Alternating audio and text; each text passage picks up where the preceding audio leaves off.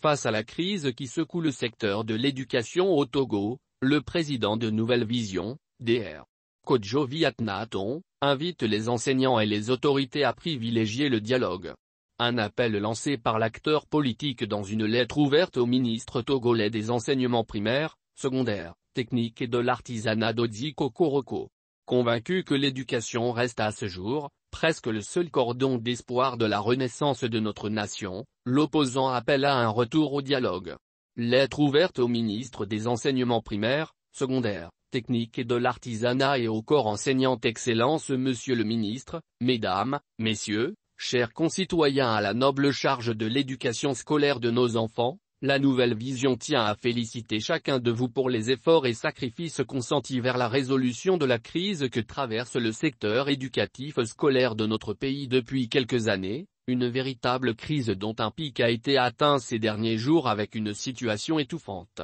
Chers enseignants, nul ne peut ignorer les difficultés énormes et les contraintes désespérantes auxquelles chacun de vous fait face dans l'exécution de la noble tâche que vous avez de former l'avenir de la nation. Et que dire des conditions presque invraisemblables dans lesquelles vous travaillez? Il est vrai que celles-ci, ajoutées au traitement insupportable font remonter en nous une colère que nous manifestons par des actes que certains pourraient traiter d'illégaux et d'irresponsables. Du côté des décideurs, il est évident que l'application des textes de loi et principes surtout de discipline du secteur de l'enseignement peut être perçue comme des décisions et actes manquant d'égard voire inhumains en ces périodes très sensibles et de crise sociale encore face à des engagements et promesses sans cesse reportés. Mais aujourd'hui nous nous devons de nous poser une question pour mieux appréhender la situation. Qu'est-ce que nos dures décisions et nos actions illégales peuvent engendrer comme impact sur l'avenir de nos enfants, sur la paix sociale et le vivre ensemble dans notre pays et sur le bien commun que constitue cette nation que nous formons si fièrement, le Togo?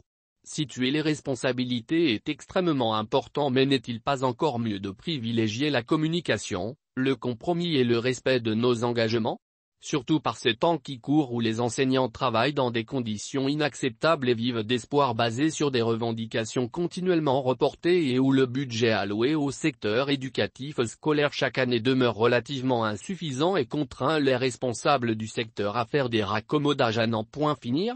la nouvelle vision appelle aujourd'hui très humblement chacune des parties à la retenue et à travailler à un compromis qui permettra à tous et à chacun de reconnaître ses déviations et de renouveler son engagement vis-à-vis -vis du secteur de l'éducation qui reste à ce jour, presque le seul cordon d'espoir de la renaissance de notre nation. Le parti ose croire en une rapide prise de conscience individuelle et départementale conduisant à une table ronde dont les résultats satisferont les 1192 directeurs d'école qui ont perdu leur statut et dans le respect de l'art d'enseigner. La nouvelle vision exprime sa gratitude au ministre des enseignements primaires, secondaires, techniques et de l'artisanat et au corps enseignant. Elle appelle à un retour au dialogue, seul gage d'instauration d'un climat de collaboration et de paix entre administrateurs et administrés pour une éducation de qualité de nos enfants, l'avenir de notre nation, le Togo.